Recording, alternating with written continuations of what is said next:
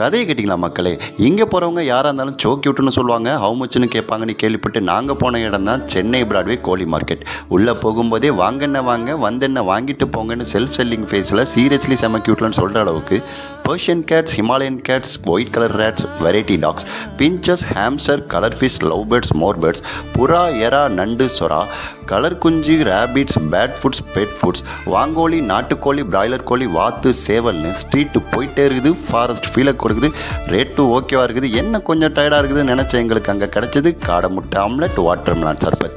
அறுத்து வறுத்து சாப்பிட்றவங்க மத்தியில் அள்ளி அணைச்சி வளர்க்குறது கெத்தில் நினைக்கிற ஒவ்வொரு பெட் லவர்ஸ்க்கும் இந்த மார்க்கெட் சண்டே மார்க்கெட்டுன்னு சொல்கிறத விட செம ஃபண்டே மார்க்கெட்டாக இருக்குன்னு சொன்னால் எந்த வகையிலையும் மிகையாகாது.